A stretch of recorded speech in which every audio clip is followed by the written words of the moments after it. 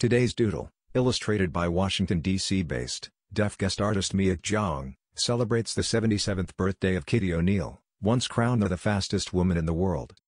Kitty was a legendary American stunt performer, daredevil, and rocket-powered vehicle driver who was deaf since childhood.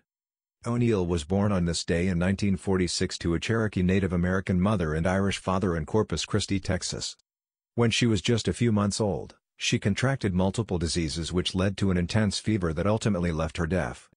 She learned various communication modes and adapted for different audiences throughout her life, ultimately preferring speaking and lip reading mostly. O'Neil refused to see her deafness as a roadblock, often referring to it as an asset. She later found a love for diving, but a wrist injury and illness ended her chances of competing. However, she remained committed to fulfill her dream of becoming a professional athlete. O'Neil began experimenting with high-speed sports like water skiing and motorcycle racing.